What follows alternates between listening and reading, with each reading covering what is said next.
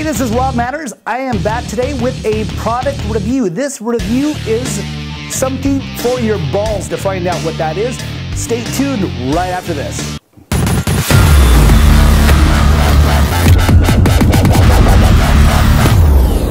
Hey biohackers, now it's the product review time. This product is called Chassis for Men.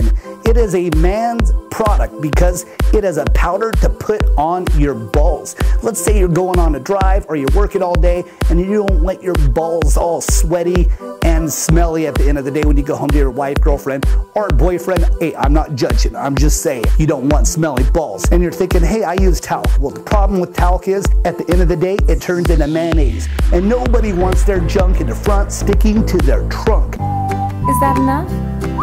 I think I need a little more around the edges. This product chassis is water resistant and it'll make your balls smell good and feel cool too. Chassis for Men. You could get this product in the link in my description below. Uh, you could get it from Amazon.com. They can have it to you in a couple days. But you get a good deal on Chassis for Men. And remember, if you ain't hacking that body, you ain't right. Then get up there and hack that body. Find out what that product is. We're gonna find that out right after I fuck that one up.